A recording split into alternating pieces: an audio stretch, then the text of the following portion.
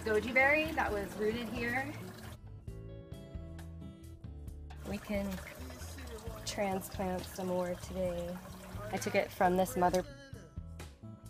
Many y'all probably know you use this to root your plants, but in aquaponics, it's so nutrient dense mm-hmm. and alive that it doesn't need that. You just stick it in. This one might have died. This one's alive. The ones in the shade do the best. I don't even know why I fucks around with any of this area. Green onion flower. Dun, dun, dun. Dun, dun, dun, dun.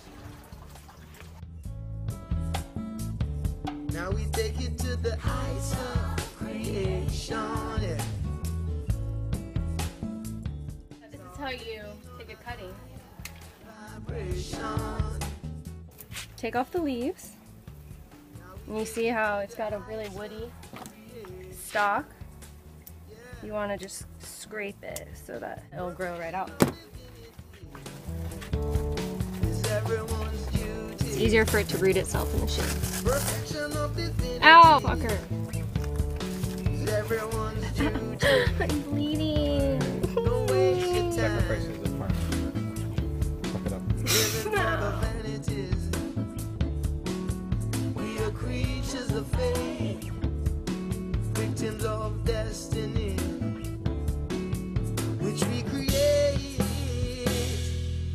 living on a higher vibration, yeah.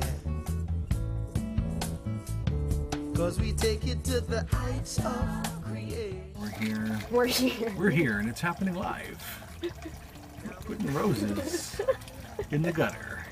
All the leaves will fall off And and, it'll look like this. And look, new growth. Oh my god. The whole stem is starting to turn green, and I know I'm gonna get a lot more growth, and it'll start looking like this. Look over here.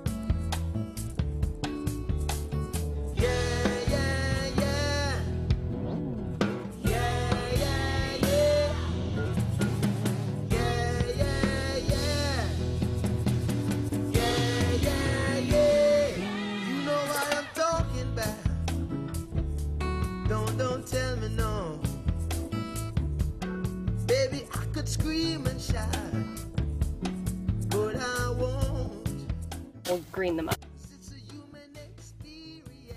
I don't know. My dad told me that, Not a spare. and it does work. It's I'll a oh, show you human guys. existence. This is magnesium sulfate. Even if it's called Epsom salt, don't be confused. It's good shit.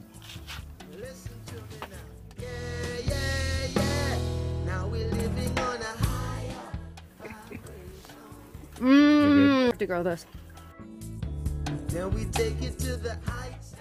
This is a mountain apple seed. It's already starting to crack. And that's probably where the little seedling is going to come out. So I'm going to plant it that way facing Out out. of the crack. Out of the crack. That's where life emerges. To the heights Little seed. Good luck, seed. I hope you become a nice little tree.